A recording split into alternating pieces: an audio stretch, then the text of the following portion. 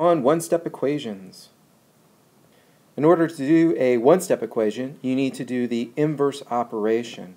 Inverse operation is just the opposite op operation that's shown. So for addition, it's going to be subtraction. So let's go ahead and solve this one. So like the name says, it's just one step. In order to solve this, subtract 3 from both sides. On the left-hand side of the equation, we'll be left with q plus 0, and on the right-hand side, we'll be left with 4.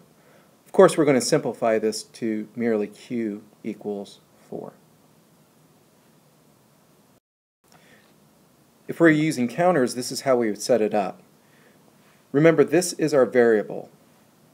For our algebraic lab gear, we're going to call this x, but really we could call it anything we want. So we'll say this is q.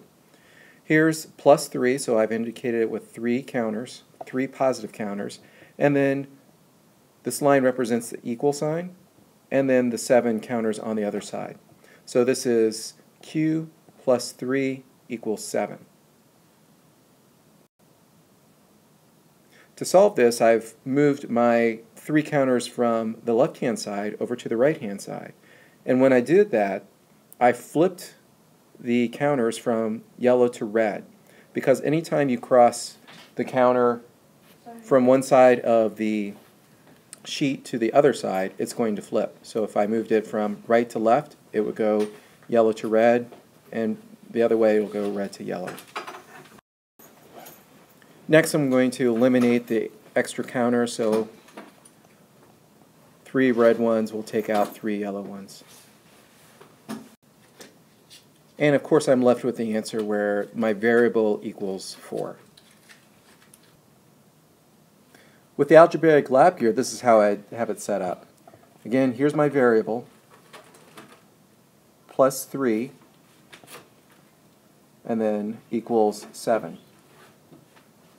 Notice I don't use the rounded off rectangles on the top because these represent either subtraction or negative, and I don't have neither I don't have a subtraction or negative represented in this equation.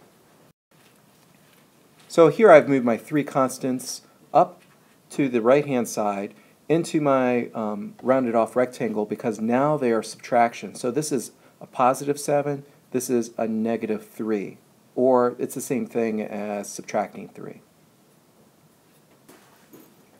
At this step I've just traded my 5 uh, rectangle for five individual cubes. And then after this I'll eliminate. So these three negative constants will knock out these three positive constants. The final answer, of course, will be 4.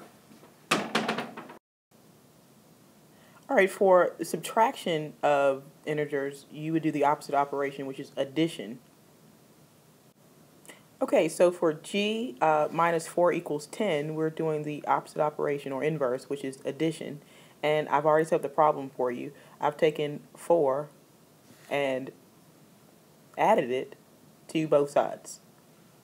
And then if you notice on the side with the variable g, it cancels out, and so you're left with g, and then 10 plus 4 equals 14. Here is the same example with counters. Remember the, the blue square, the blue square is represents your variable g or whatever letter you'd want. Uh, minus 4 equals the 10. And remember with minus 4 it's the red counters and 10 positive so we use yellow.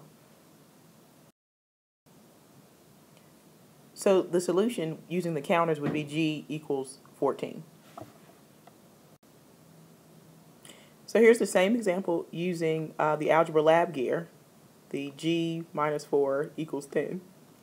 Uh, here, with subtraction, notice that the negative is up top within the squares on the mat. So what we'll do is, since we're adding, we would move those down to the two five bars, which makes the, the 10. So we'll be adding it onto it. So here we've moved them, and you see the answer is 14. Okay, here we have a multiplication problem, so we're going to need to divide because the inverse operation of multiplication is division. So I'll just divide both sides by 2. Of course, this is going to cancel out the 2 on the left-hand side. I'll be left with just the variable x, and 10 divided by 2 is 5, of course. Here on the uh, mat using the counters, I've represented 2x on the left-hand side and then 10 on the right-hand side.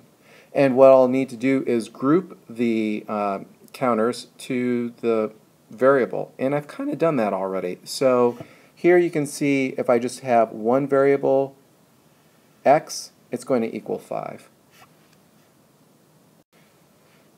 Using the Algebra Lab Gear, I've set up um, 10 constants uh, within the bar there. And what I'm going to do is I'm going to see how many x's would match up over here uh, when I have 2x. So I'm going to need to set up 2x on that side. Here I have it set up. Now I'm going to simplify my uh, equation. Now we can see that 1x, or x, will equal 5. Okay, the last example is showing uh, a division equation. So the opposite operation would be to multiply. And here you would just need to multiply uh, 2 times 10. So, uh, which will give you the what x is, which is 20. So, in essence, your answer would be x equals 20. Mm -hmm.